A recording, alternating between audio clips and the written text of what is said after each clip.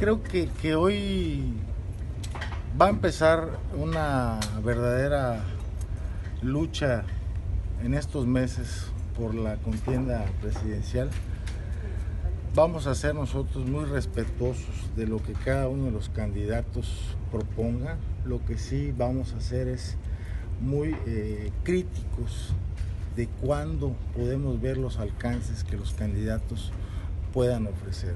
Eh, la verdad que, que, el país necesita eh, tener un rumbo fijo, que no podemos estar nosotros este, con los vaivenes, suficientes. Problemas tenemos este, con los embates internacionales ah, para la economía de México.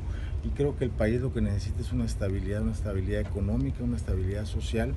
Y esto no se va a lograr eh, con, con, caprichos, hay que ser claros y creemos que el proyecto que, hoy ha planteado AMLO para nosotros como sector privado, en mi particular opinión, no cumple con las necesidades que tiene hoy el país.